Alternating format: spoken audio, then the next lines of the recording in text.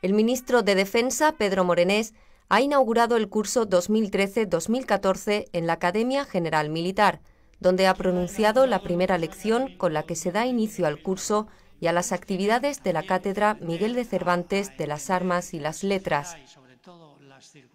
En el acto inaugural de este año académico también han intervenido los directores de la AGM, General Jerónimo de Gregorio, del Centro Universitario de la Defensa, Antonio Elipe,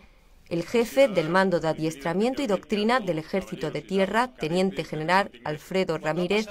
y el director de la Cátedra Miguel de Cervantes, Coronel Gonzalo Escalona. Durante este curso, adaptado al proceso de Bolonia, recibirán formación en la AGM 987 alumnos, 65 de ellos mujeres. La implantación del nuevo modelo de enseñanza militar se inició en el curso 2010-2011 con la incorporación de los alumnos de la 70 promoción, que actualmente cursan su cuarto año del plan de estudios.